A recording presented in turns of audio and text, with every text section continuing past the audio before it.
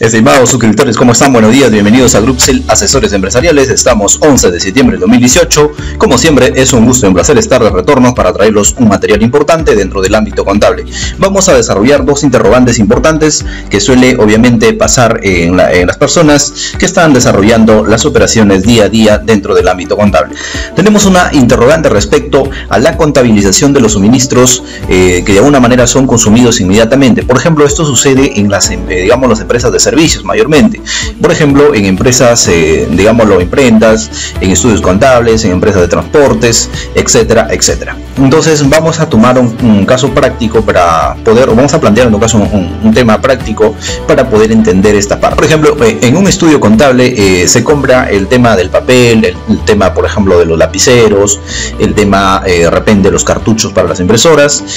resulta que este, digámoslo, vamos a poner el caso de, la, de los cartuchos para las impresoras, que de alguna manera son consumidos inmediatamente o son directamente instalados para ser utilizados de forma inmediata, que no ingresan a un almacén para, digámoslo, eh, ser configurados como existencias. Entonces, la pregunta es en qué cuenta contabilizo este gasto dentro de la 65.6 o dentro de la cuenta 63 entonces vamos a dilucidar ciertos puntos revisando la, y analizando la dinámica del plan contable general empresarial.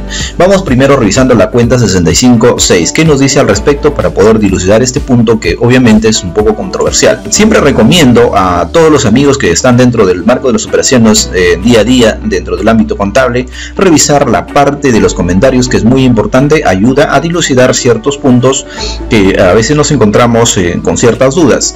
Entonces vamos a revisar un párrafo que es muy importante que nos dice, las compras de útiles de escritorio se registran dentro de la subcuenta 63 materiales auxiliares, suministros y repuestos.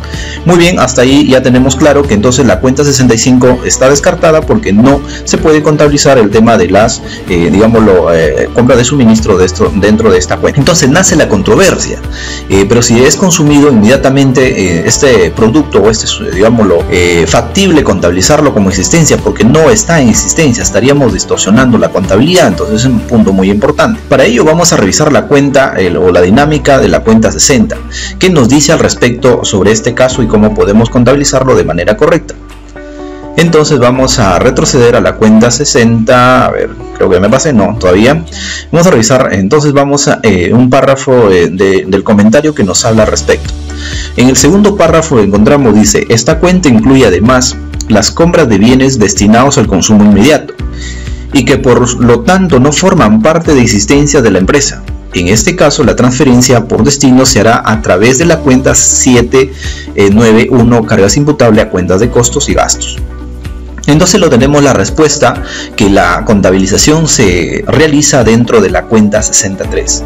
¿Y cuál es la forma correcta de contabilizar? Si me está diciendo entonces que no, eh, digámoslo, no se configura para ingresar digámoslo, a existencias no se configura para ingresar a existencias. Entonces, eh, obviamente hay una gran contradicción. Pues yo leo, eh, hago la comparación con la otra dinámica que acabo de leer, la dinámica de la cuenta 65, me dice que debe ser contabilizado dentro de la 50, o perdón, dentro de la 63. Pero sin embargo, el comentario me está diciendo claramente que no forman parte de la existencia, entonces con lo cual nos encontramos con una contradicción de una manera eh, bastante mm, relevante. Entonces cuando estamos frente a una operación que va a ser, eh, digámoslo, eh, calificada o que califica como el tema para ingresar al almacén, estaríamos contabilizando dentro de la cuenta 6032, por ejemplo, y la 4011 contra la 42. Hasta ahí estamos registrando la parte de la, o los gastos en todo caso por naturaleza, y luego estaríamos ingresando a la parte de lo que es el destino o al almacén, que sería la 25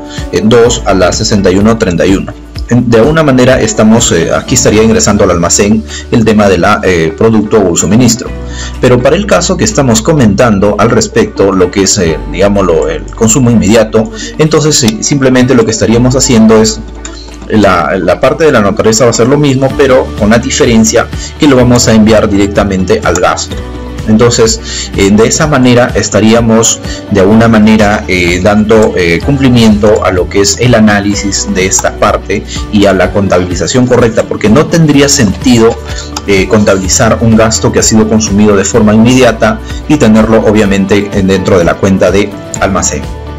Entonces es un punto muy importante que debemos tener en cuenta dentro, eh, obviamente este, esta parte del, digámoslo, de la contabilización siempre es recurrente, obviamente porque de alguna manera no hemos revisado lo que o no hemos interpretado correctamente la parte de la contabilización de estos gastos que son obviamente consumidos inmediatamente por la empresa.